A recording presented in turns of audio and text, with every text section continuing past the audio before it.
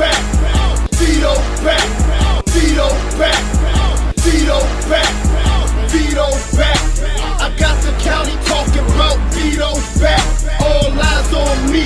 I got these idiots hating. I got a brand new beamer. I feel I already made it. In the area and I've been so many different states and stuff. I mean, I can always expand more, but now I'm just working on um, changing my music a little bit to, to reach different ears.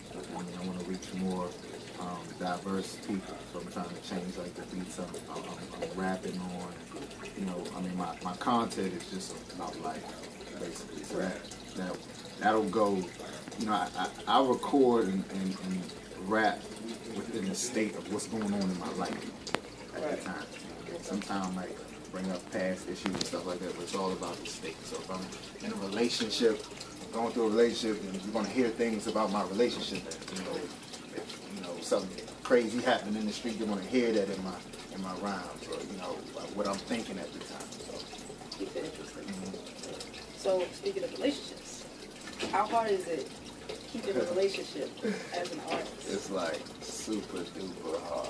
you know what I mean? Like, like me personally, like I'm, I'm just trying to, trying to sell my brand and and, and demonstrate like what a good brand, and a good person is trying to be. You know what I mean? Like artists are so, um, like people stereotype. You know what I mean? That's why it's hard being in a relationship and being an artist because you're stereotyped. You know what I mean? Just because there's girls in the building don't mean I want the girl. You know what I'm saying? But our partners think, you know what I mean? So it's, it's just, it's, it's, it's hard, but you know, you gotta understand both sides. You just gotta be open about the things you're doing. You don't be hiding. Right. So, Okay. So, what? I guess I, I usually follow you on on Facebook and you know to see your performances and stuff. So, what made you take this hiatus? I like I say hiatus. It's, been a little while since I've seen seen you perform anywhere. Or, um, I, I was fasting.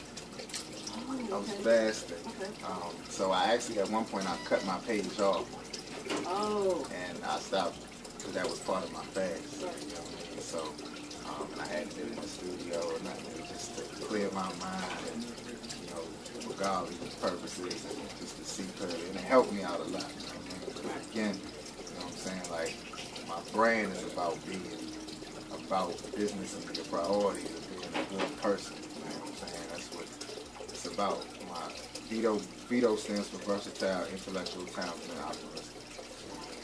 That's what Vito stands for. So, you know, you, you can't talk it and not live?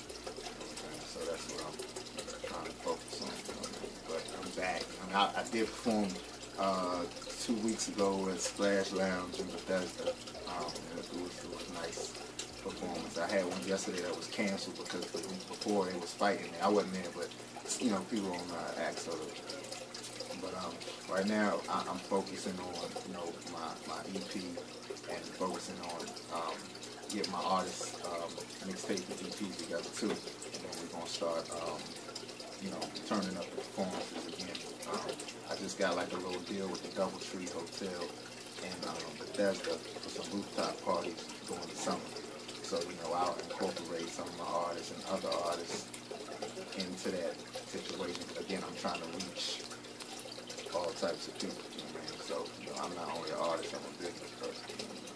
So, who, what artists have you collabed with that? Um, oh, Dizzle, Fat Trel, um, Lil Wiley, um, Garvey, um, me and Boo, one Mike Boo, we had some things going, but we didn't actually get it done. Um, I don't know if you're aware, but I do have the album in DTLR nationwide. Um, um, Sunny Hot. Um, who else? Who else? Who else? Um, you know, I- I've done some stuff with Freeway, not no music shows, other shows, and not no you know on track um, music. Tiger, Mario. And it's a lot of a lot of other artists that I've collabed with um, that you know are a little under me or a little above me. You know what I mean? So you know, just we all trying to get to that get to that top. You know what I mean? But um, I don't collaborate with everybody. Okay. I don't. What makes you decide? Um, their work ethic. Okay. You know, some, sometimes I charge, sometimes I don't. It's all depending on your work ethic and um, you know what you're doing, what you represent. Um, you know, I, I don't judge anyone, but I like my, my brand a certain certain way, so I want to keep it like that. You know what I mean? Okay. You have any artists out today that you're looking to collab with? Um, um, well, the, well the, I guess that's a different question than the R&B. The R&B guy, I'm trying to get him on my team, so I guess I wouldn't use that as an example. Um, right now, um, not really. Um, I just I'm just focusing on my project, and um, you know, after I put that out, then I'll start, you know, accepting and asking, and getting other collabos and features and all that. But right now, I just want to focus on my EP and um, you know, get it out there, get a couple videos out, and you know, keep keep networking and linking with different entities and different promoters, and you know, keep keep moving. So, what do you think about the state of hip hop, or I should say music, period? The state of music, um, I think it's coming back. It's coming back to like the '90s and stuff like that. I think it was lost for a minute. It wasn't lost. It was just on a different path. You know I mean? It's like, and I think a lot of people get um, they get caught up in I want the old, but you know, if you always had the old, you never grow. I mean? So I think you know music has grown, and then everything I think goes full circle. What Everything. At one time, people wasn't wearing. They stopped wearing Timbers. You know what I mean? At one point, everybody's wearing Timbers. Then they stopped, and then they started wearing Timbers again. Right. It went full circle. So I mean, everything's gonna come back around. You know? But I think it's on the up and up. So, what do you think about, uh, I should say, the content of? The content probably needs to change because everybody can't rap about the same thing because then it gets boring. you know what I mean? Like, there's certain things that's just so easy to rap about, whether you're familiar with it or not. You know what I mean? So, um, I think the content is, it needs to change. It needs to be expanded. Um, um, you know, at one point the creativity was like taking over, and the content was the I mean? Like now I see the content getting back. You know I mean? But it gotta match with the creativity. You know, you, gotta rap from it. You know what I mean? And not from, you know. So, what do you think about uh, Kendrick Lamar's uh, I'm the King of New York statement? I mean, it was very controversial. You know what I mean? Like, I, I think he's a smart dude and he knew what he was doing. You know what I mean? He, I don't even think he really meant that, but he knew what he was doing. You know what I mean? He was making a statement. You know what I mean? Everybody's talking about Kendrick. You know what I mean? Like, he did the song a long time ago about Beyonce. You know what I mean? So, like, he knows what he's doing. Uh, at, at some point, you know, you play chess with the game. You know what I mean?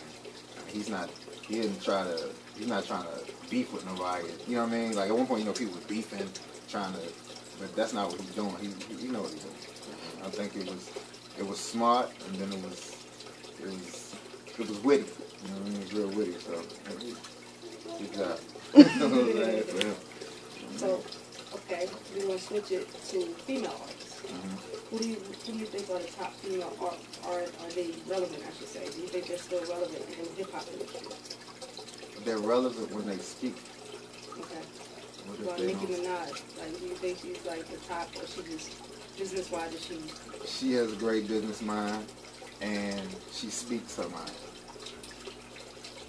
She's the only one that's speaking her mind right now. So she has no competition until someone else speaks their mind. Very true. Very true. Okay, so what do you, what do you think about mainstream versus indie?